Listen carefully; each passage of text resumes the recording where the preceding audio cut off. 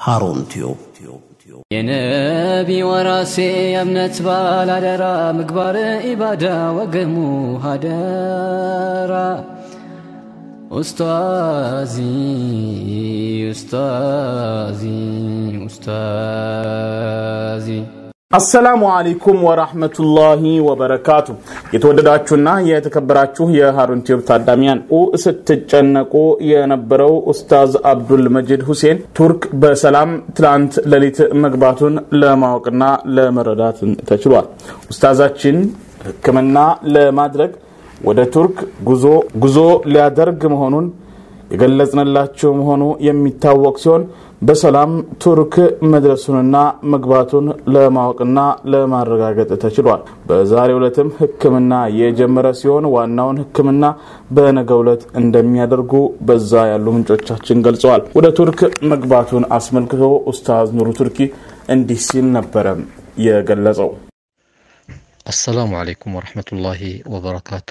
ውድ ወንድሞቻችን እህቶቻችን እንደሚታወቀው እንግዲህ በኡስታዝ አብዱልመጂድ ሂደት ላይ የቱርክ ኤምባሲ በመታለት ቪዛ መሰረት ትላንትና ነግረናችሁ ነበር።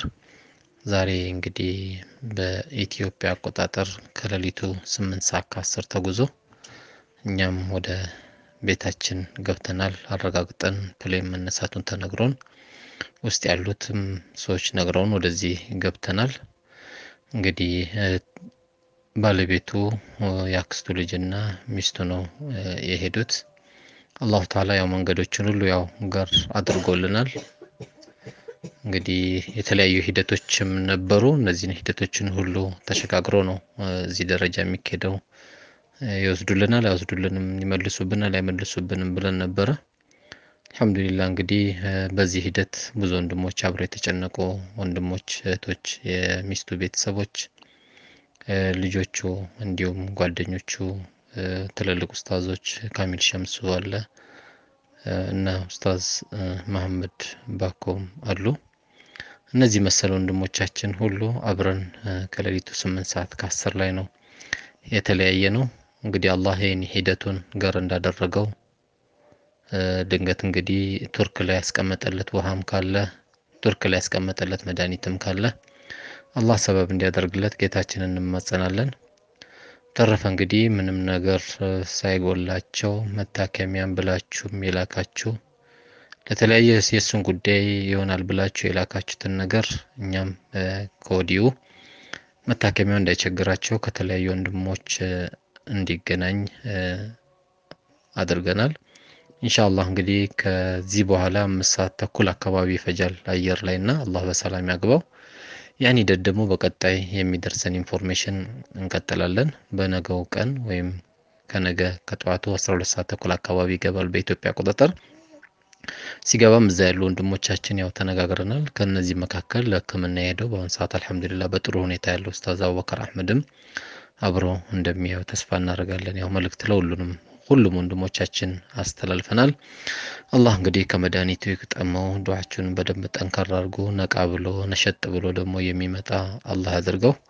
አላህ አሁንም በሁሉም ነገር ላይ ቻይ ነው። ከሱ ትልቅ ነገር እንጠብቃለን እና ትልቅ የሆነውን ወንድማችን አላህ ያከበረውን ወንድማችንን ደግሞ ከኛ ጋር ቀላቅሎ ከቤተሰቦቹ ጋር ቀላቅሎ የተሻለ የሆነውን ኡማውን መጠቅ መከደሙን እንዲቀጥልበት ጌታችንን ሁላችንም በተለያየ የኢባዳ ሁኔታዎች ባለንበት ሰዓት ዱዓ ልናደርግ ይገባናል። አላህ እንግዲህ ከምንም በላይ ማንኛውም ትንሽ ናት ትልቅ ናት ሳንል የሰራናት ስራዎች ሁሉ አላህ ይቀበለን እያል የዛሬ ያለውን ኢንሻአላህ በዚሁ እንሰናበታቸዋለሁ።